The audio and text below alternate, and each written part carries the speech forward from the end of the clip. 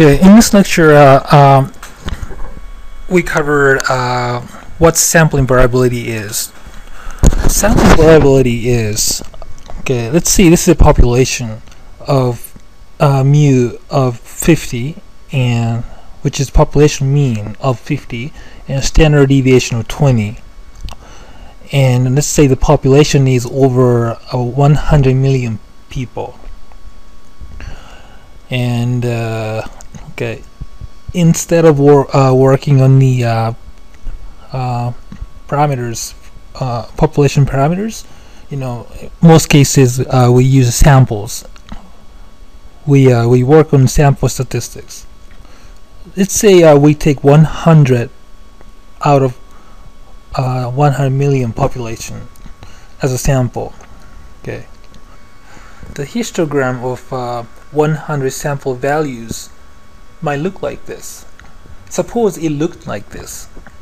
If we take a different 100 sample values out of the entire population, the histogram or distribution may look like this.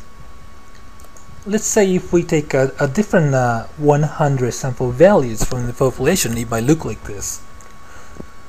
They are all similar, but each time it's different.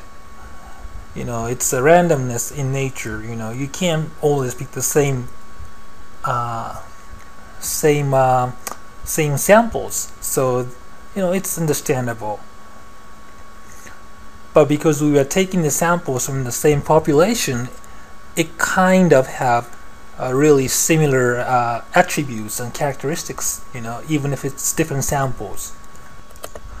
For instance the first histogram example you know this first 100 sample values. You know the mean was 48.91 and the second histogram you know the mean was uh, 49.26 and the third example I showed you uh, the meaning of the, the the sample was 51.75 so um, they are around 50 you can say you can tell because you know uh, the population is population mean which is mu is 50 you know? And uh, we are sampling from the same population it tends to have really similar values even if they are sample sam different samples you know? Taking the samples from different different portions of the population still have a very similar uh, characteristics and attributes just like that. But because it's just a part not the whole population the value is going to be different in most cases. And but you know these are acceptable uh, marginal errors because you know it's co coming from the same population and these differences are expected. And uh, you know if we, if we keep taking different samples you know samples from different po um, different portion of the population let's say we keep doing it we did three times right but if we keep taking samples, same in 100 sample values from the population, you know, we make, you know, we, we, we get uh, results like this, for example. So what we're interested in is, you know, okay, so we know that these are gonna be, there's gonna be a range of, you know, differences, range of errors, you know, from the uh, population mean, which is mu, you know, it's supposed to be 50, you know, as a population mean is supposed to be 50. But samples tend to have some errors or margin of errors.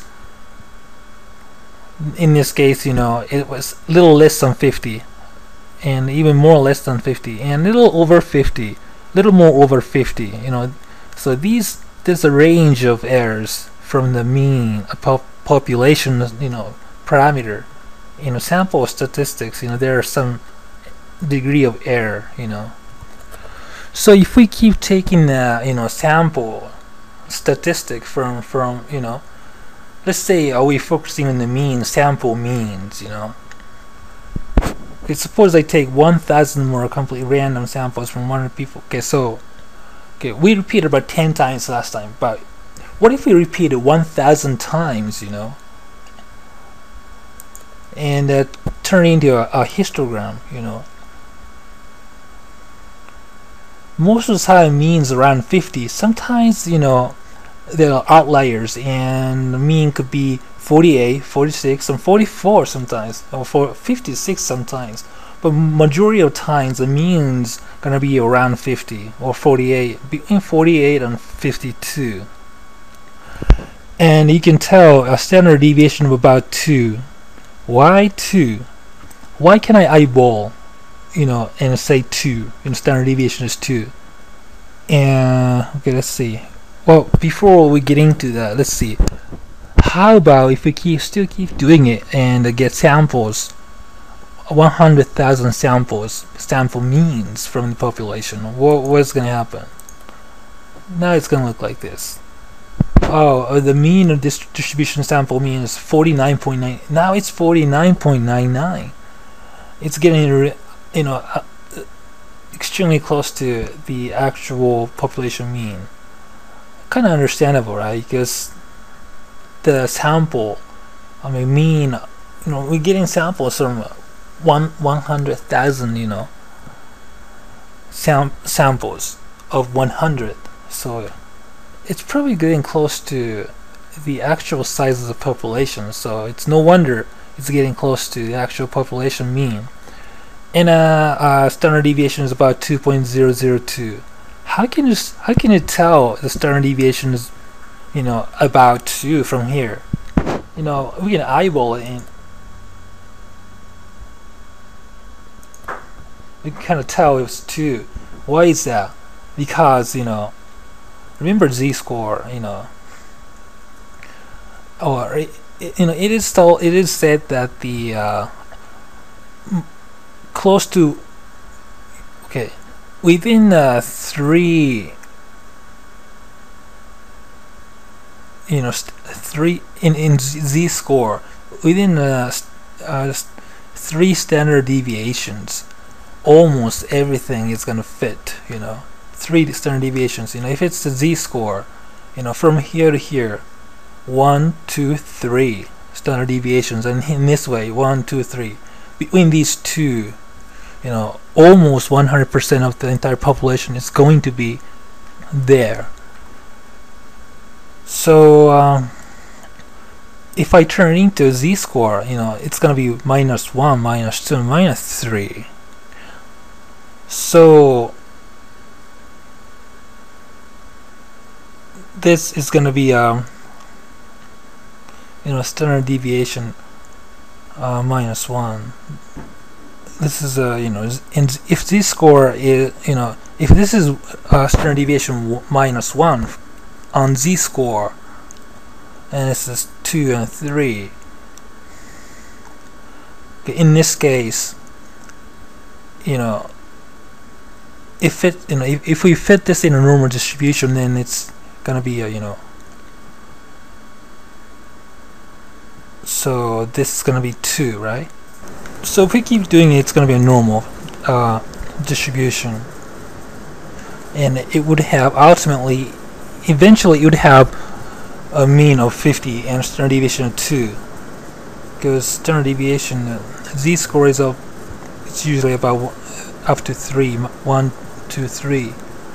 So in this case, the one unit is going to be two. So one standard, one standard deviation, okay, standard of two, uh, you know, okay. Mean, you know, this is not the actual mean, but it's the expected value, you know, because it's a sample. These are samples, but from from from millions, of, you know, numbers of uh, sampling we can kind of expect that the, the, the mean is going to be 50 so that's why we call it expected the expected value of m which is 50 Ex expected value of m Exist expected value of mean sample mean. And the standard deviation for that is gonna be you know called standard error of m.